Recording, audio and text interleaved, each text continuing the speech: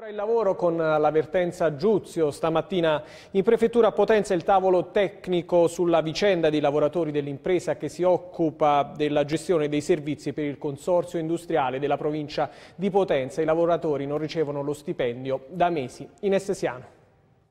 Siamo consapevoli dell'urgenza uh, della uh, questione e quindi non uh, mancherà l'impegno e l'attenzione dovuta.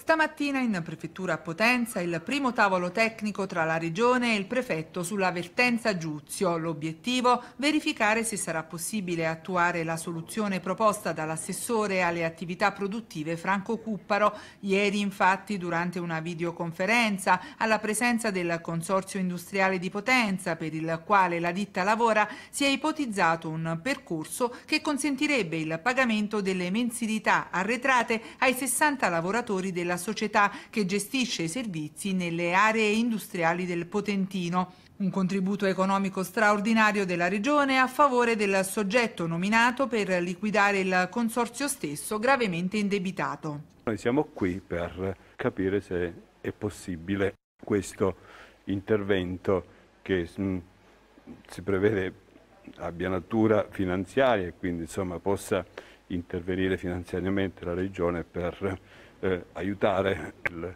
Consorzio ad estinguere questi, questi debiti. Un'avvertenza lunga e complessa che nei giorni scorsi ha visto però il riconoscimento della mensilità arretrata di novembre, un piccolo sospiro di sollievo per le 60 famiglie coinvolte, ma non basta, dicono FIM, CISL e WILM. Devono essere pagate tutte le spettanze arretrate, solo così, aggiungono, si potranno assicurare ancora le attività essenziali nelle aree industriali come la gestione degli impianti di depurazione o delle reti Cognária.